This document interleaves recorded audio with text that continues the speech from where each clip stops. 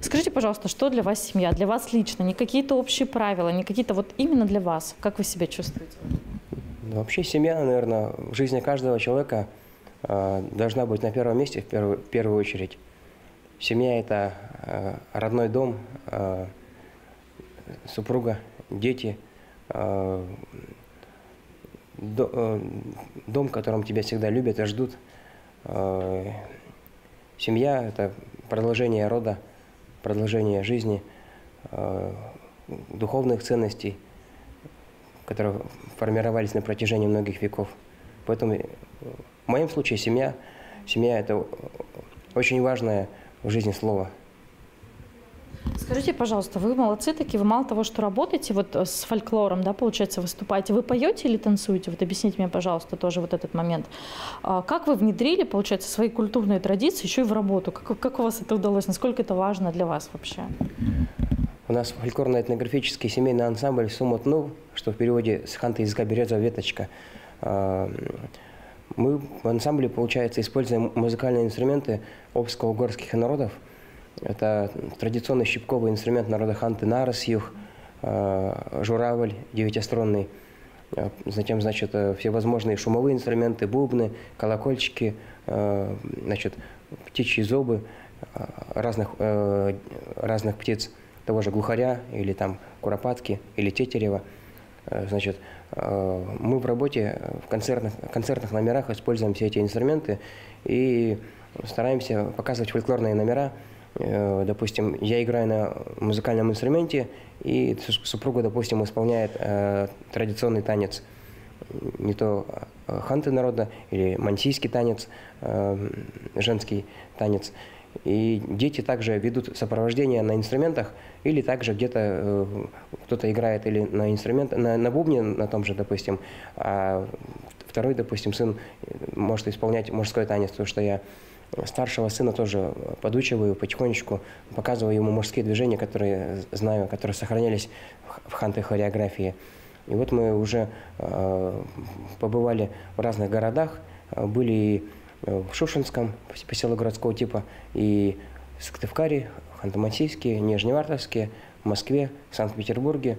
Э, По, по округу были мы э, поселки, э, поселки, значит, мужи на День оленевода выступали, потом, значит, для моих земляков выступали в рыбацком поселке Аканлейм буквально вот год назад, это в Шурышкарском районе. То есть как и на больших площадках выступаем на разного рода э, у- уровнях фестивалях, так и на малых площадках для, для своих земляков. В общем, в Солимале День рыбака был, э, День коренных народов мира в Панаевске. Ну, в общем, в этом году готовимся э, ехать в город Ноябрьск, пригласи- пригласили, там тоже будет э, мероприятие, приуроченное ко Дню коренных народов мира. Скажите, пожалуйста, вот вы, получается, с супругой и работаете, и деток вы стараетесь к этому всему делу привлечь. Как вам работается на одной сцене? Всегда же говорят, не работайте вместе с супругами, сложно, трудно. Вот как вам? духовные ценности надо э, при- прививать детям с детства, как язык, э, так и песни, танцы, музыкальные инструменты, ну, в общем, культуру. Игры, головоломки у нас есть, ну, в общем, м, много чего интересного. Это для сохранения культуры, во-первых, и для передачи э, подрастающего поколения, вот это все, как бы воспитание.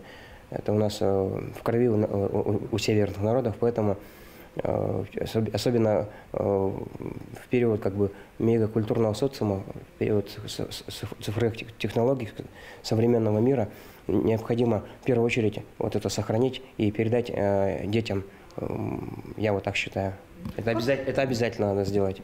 Как у вас ребятишки на это отзываются? Им интересно вообще, потому что достаточно такая узкая тема, я имею в виду традиции, да, вот коренного народа. Насколько они понимают, насколько для них это в крови? Вот я понимаю, что вы с бабушкой, с дедушкой общаетесь, у вас все такие э, знают традиции, разбираются в этом. Как вообще, как детям в этом растет? Ну, Мирону уже 11 лет, мы его уже с трех лет начали э, значит, тренировать. Э, Ездили мы в город Наринмар, он там был самым молодым участником фестиваля, э, аркти- ар- арктичес- арктического фестиваля «Аргиш надежды». И как бы, ну, желательно пораньше как бы и приучать э, значит, к, э, к песням, к танцам, к обучению к тем же инструментам, чтобы мышцы на пальцах привыкали потихонечку. ну, я имею в виду по игре на струнных инструментах. Вот. Ну, мы, мы подумали, надо их пораньше начинать тренировать, чтобы и у них желание было заниматься, и им, в принципе, интересно. Всегда желанием и охотно как бы соглашаются принять участие в том или ином мероприятии или в той или иной поездке для участия в каком-либо мероприятии. А, в общем, детей, детей говорю, надо при, приучать с детства, потому что подростки, дети уже бывают, у них или стесняться начинают, или что-то еще бывает. Ну, бывает, что пропадает желание. Я такое замечал. Поэтому я подумал, надо детей пораньше как бы при, при, привлекать, ну и вообще э, не то что привлекать, а вот именно а, передавать свой опыт подрастающему поколению. Старший Мирон? С раннего, возра- с раннего возраста. Кто? Старший Мирон, ему 11 лет, младшему Артуру 5 лет. 6 будет в сентябре уже. Скажите, пожалуйста, вот, э, скажем так, ханты муж отличается как-то, вот, не знаю, других народностей? Мужчина, каким... Да, мужчина, простите. Мужчина вот именно в семье, это вот, вот какая роль у вас социальная? А, мужчина должен в первую очередь быть примером для своих э, сыновей, для своих детей, а, быть, э, наверное, э, надеждой и опорой, кормильцем. Я вот занимаюсь охотой, рыбалкой. С тестем вместе мы стараемся найти время для промыслов, которые передавались у нас из поколения в поколение и передаются, и будут передаваться воспитанием занимаемся. У нас есть определенные определенные запреты у народа ханты, что можно, что нельзя в семье, э, именно в отношении воспитания детей. Э, допустим, мужские вещи должны где-то повыше быть, их как попало нельзя никуда кидать или там бросать. Это надо уже с детства как бы воспитывать э, в детях вот эти все традиции и обычаи. Ну и, значит, то, то, что мы занимаемся национальной культурой, тоже мы им объясняем, что это нужно обязательно, чтобы это все сохранить, как бы, то, что в будущем э, уже, возможно, сложнее все это будет сохранять. Скажите, пожалуйста, какие еще запреты? Мужская одежда выше, вы сказали, женская немножко на другом уровне. Что еще, какие нюансы вот именно в быту? Интересно же. Ну вот, э, над, над нашим промыслом, особо почитаемым промысловым культом медведям нельзя смеяться, там посмеиваться, э, значит, потому что он все слышит, как моя бабушка говорила.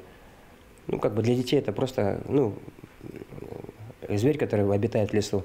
Но надо с раннего детства уже как бы детям объяснять, что э, зверь, который, э, которого мы уважаем, который для нас считается святым. Вот. Э, и который есть помимо, него, помимо этого еще зверя, есть звери, которые у нас считают священные, например, горностай, тоже его нельзя убивать. Вот.